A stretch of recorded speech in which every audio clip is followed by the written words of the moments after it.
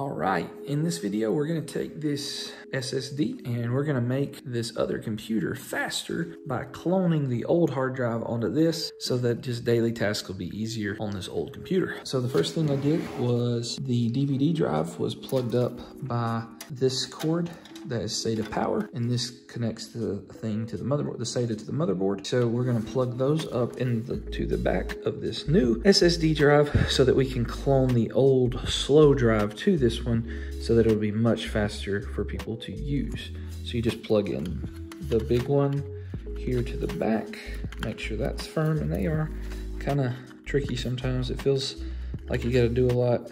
It does slide in, just make sure you turn it the right way and those pop right in. So now I have the second drive here and we'll pull it up on the computer, run some software, and we'll show you how it works. All right, so you're gonna need a software called Macrium, and you can do the free version. You're gonna wanna download that, and you're gonna have to jump through some hoops, give them your email, sort of thing. So we'll just show you, and it'll give you a link in your email that you will download, and it will look like this application that you can install and it will pull up this right here where you can make sure you select the free version okay it'll download wherever you need to then after you do that it's going to ask you to put your email address and the code it gives you in your email. And once you do that you'll be able to get into software that looks like this okay? So up here is the old hard drive uh, that has windows on it up here. And all we're going to do is we're going to clone this. Down here, you can see a flash drive down here uh, that I have connected, so we don't want to do that. But we have this disk here, which is my Samsung SSD that we're going to clone, right? So this is the this is one that we're cloning. It has the five partitions here.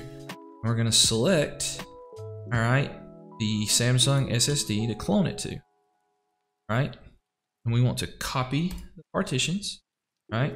Copy the partitions so that uh, these match exactly. All right, and then we're gonna click next. Okay, you could schedule it if you wanted to, but we don't want to do that because we want to do it right now. It's just gonna double check to make sure that you're good with everything that you're copying. All right, and then we're gonna click finish. All right, it's gonna just leave all that the way it is. Okay. All right, warning. Following drives will be overwritten.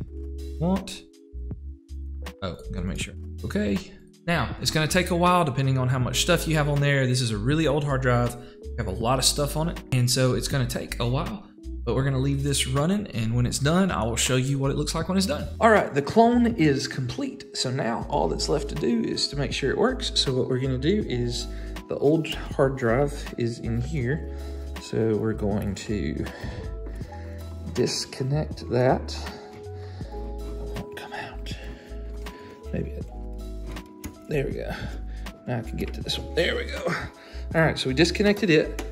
But again, this other one's still plugged up. So we're gonna make sure it works and boots by itself. And then we will move this this one over here and mount it so it won't like fly around everywhere.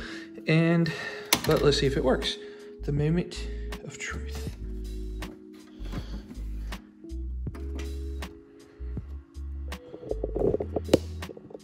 loading. See. Come on, baby. Come on, baby. It might take it a minute. it worked! Look how fast that was. That's awesome. And that's how we clone a hard drive. If you like this video, you're probably gonna like one of the other ones that's somewhere over here. We'll catch you in the next one.